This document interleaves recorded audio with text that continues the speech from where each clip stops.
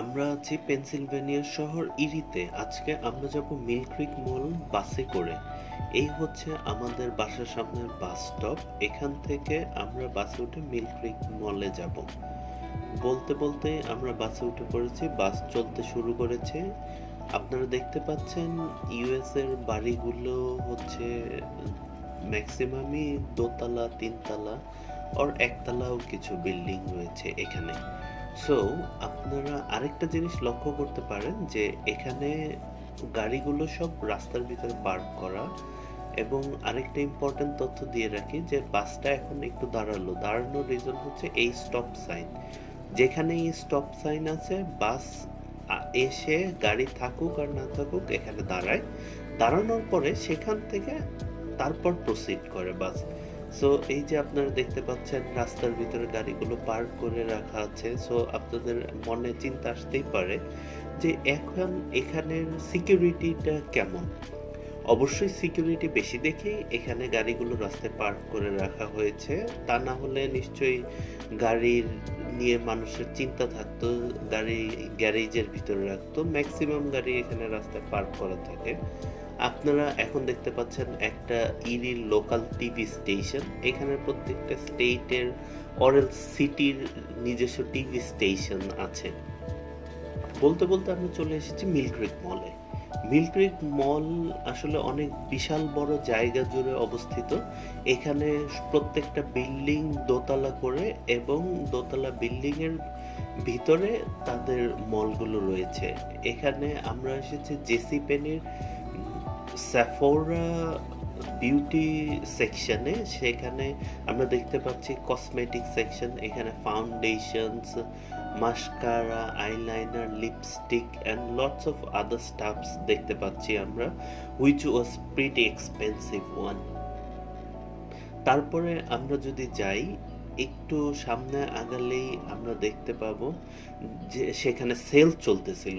Interesting thing ওয়াজ যে এখানকার বিশ থেকে পঁচিশ ডলারের জিনিস তারা ষাট ডলার আর পাঁচ ডলারে অফার করতেছিল। So that was a nice offer for everyone আরও আমি দেখলাম যে হুদা বিউটি, এটা ওয়ার্ল্ডের রিনোন একটা ব্র্যান্ড এটার কসমেটিক্সগুলো খুবই এক্সপেন্সিভ পঞ্চাশ ডলার পর্যন্ত দাম ছিল।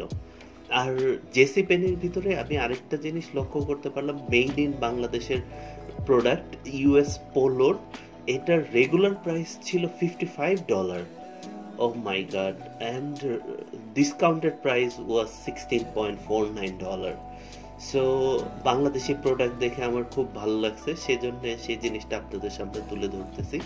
তারপরে আরও কিছু সেকশনে আমরা বাংলাদেশি প্রোডাক্ট পেয়েছি লাইক দিস ওয়ান এরপর আমরা চলে আসলাম পাশের আরেকটা স্টোরে সেটা হচ্ছে অ্যান্টিক শপ এবং প্রত্যেকটা জিনিসই ডিফারেন্ট এবং আমার কাছে মনে হয়েছে প্রত্যেকটা জিনিসই এখান থেকে পারচেস করার মতন।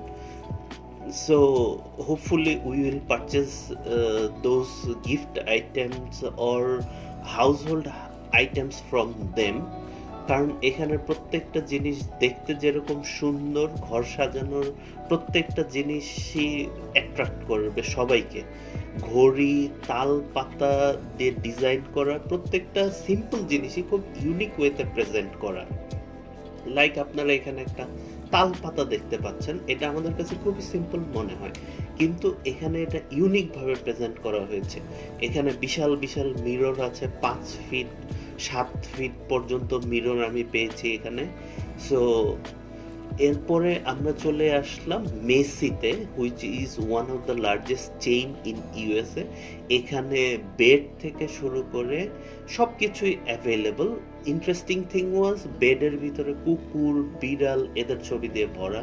দেন এখানে দেখতে পাচ্ছেন টোস্টার সো এই টোস্টারের বিভিন্ন রকমের প্রাইস ছিল। আর এই মেসির ভিতরে সব প্রোডাক্টের হচ্ছে হাই কোয়ালিটির এবং হাই কোয়ালিটি প্রোডাক্টের দাম সবসময় একটু বেশি থাকে, আপনারা জানেন। সো আপনার আমরা এসেছি কিচেন আইটেমের ভিতরে।